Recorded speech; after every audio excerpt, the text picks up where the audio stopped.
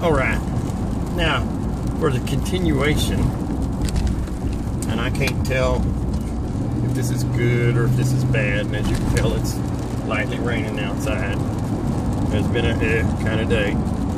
Uh, I ran up to the building, talked to the owner.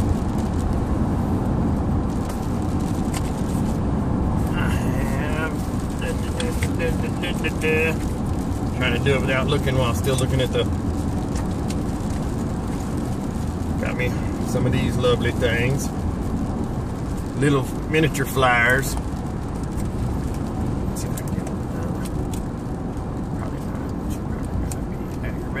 Gimme, gimme, gimme, gimme. No, if that is the other. Okay. I'm not going to attempt it while I'm driving. uh, this is just an attempt to see uh, what the upgrade looks like camera-wise.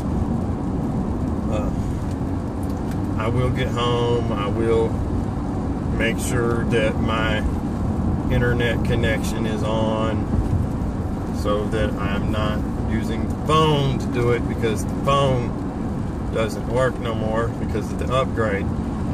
This phone that I'm on, see, here, I'll prove it. This was the phone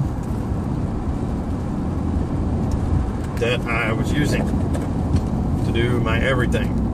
The other, I will be able to use it for everything, and it does quite a bit more. Plus, it'll let me edit the video some, it'll let me filter the video some. It has come a long way. So I'm en route to run go talk to the Harley people. And